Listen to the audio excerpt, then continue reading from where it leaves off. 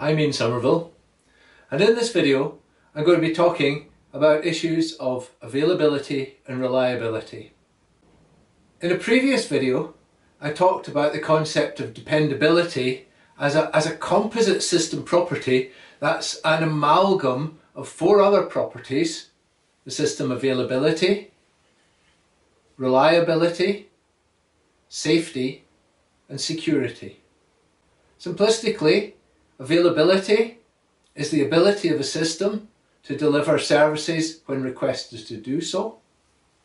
And the reliability is the ability of a system to deliver services correctly. There is a more formal definition of these terms which takes into account the fact that they can only be defined in a specific operational environment. The formal definition is reliability is the probability of failure-free system operation over a specified time in a given environment for a given purpose. So this kind of takes into account the fact that if you're using the system for something it's not meant to be used for, you won't get the same level of reliability. The formal definition of availability is a probability that the system at a point in time will be operational and able to deliver the requested services. Now, what's very important about these definitions is that they are expressed as probabilities. Therefore, availability of 0.999 means that the system is up and running for 999 out of 1000 time units. A reliability metric we use is probability of failure on demand. A probability of failure on demand of 0.0001 means that 1 in 10,000 demands will result in a system failure of some kind. It's obviously the case that availability and reliability are related. If a system is not available, it's obviously not delivering its services correctly. But in fact, it's usually helpful to think of these separately. It's actually possible to have a system with high availability requirements, that is, to deliver services when requested, but low reliability requirements, so that it may frequently fail. This is possible if the failures are not damaging to the system and it's possible to recover from them quickly. So for example, if a request for service is made, the system fails, the failure is detected and corrected, the requester of that service may never know that a failure has occurred. We normally express availability as a percentage. And availability is particularly important in a world of web-based systems where people may access them at any time of the day or night or any day of the week. The problem, however, with expressing availability as a percentage is that it can be misleading we can say a system has an availability of 0.999 so that's one failure in every thousand units but if that failure occurs during the day where there's a large number of system users it's much more damaging than if it occurs say at 2 o'clock in the morning where there are many fewer users. It's also the case that if you have a very rapid restart time so that after failure you can get back up and running in a couple of seconds. That's much less disruptive than you have if you have a long restart time and users are locked out of the system for that time. So the availability metric can be a bit simplistic. It, it can give you a misleading picture of the practical effects of a system crash. We typically use Two metrics for reliability.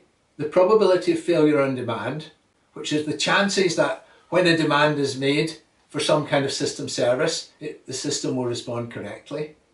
Or the rate of occurrence of failure, which is the number of failures that happen over a particular time period or over a given number of transactions.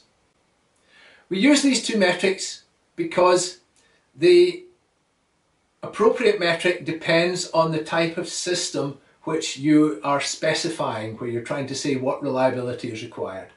So if it's a transaction processing system which is processing potentially thousands of transactions per second, the rate of occurrence of failure is the, is the, is the right metric.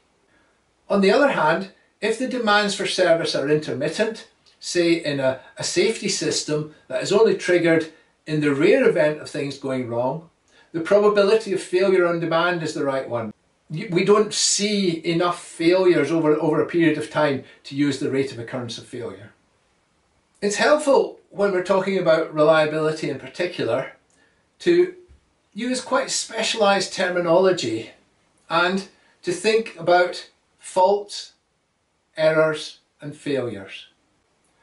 Faults are static characteristics of a program. They're things that are wrong in the program. Say you have initialized a variable to zero instead of one.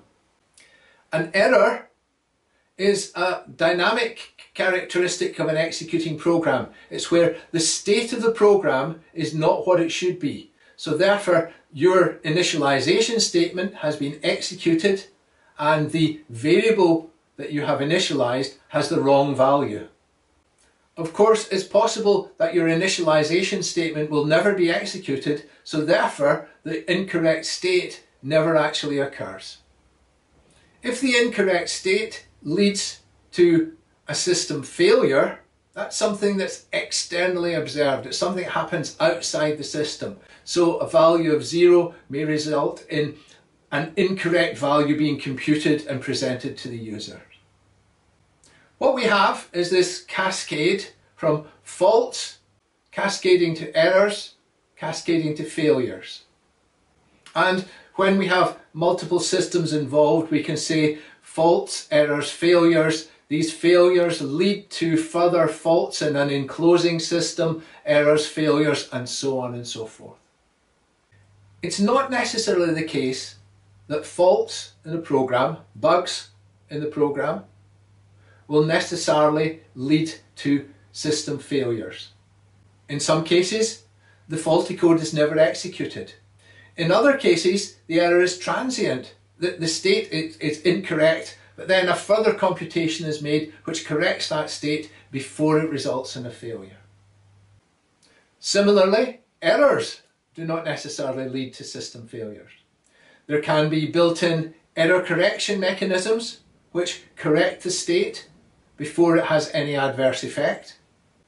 Or there may be protection mechanisms in place which mean that the effects of part of the state being incorrect do not propagate to other critical parts of the state. The notion of faults, errors and failures and the fact that failures derive from faults at some stage allows us to think about the approaches that we can use to achieve system reliability. There are basically three approaches. These are fault avoidance, fault detection, and fault tolerance. Fault avoidance is the use of development techniques in a development process that avoids the introduction of faults into the program in the first place.